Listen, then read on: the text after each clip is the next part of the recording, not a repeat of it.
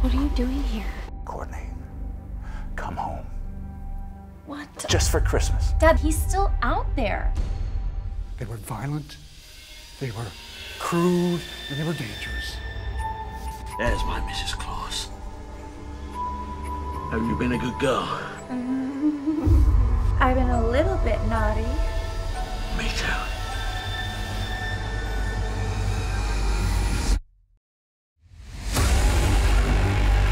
Bided his time. Shit! He made his plan. He killed 30 people. He burnt down that whole asylum.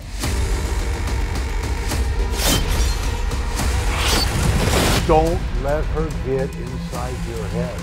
What's my name? What if it's an actual list?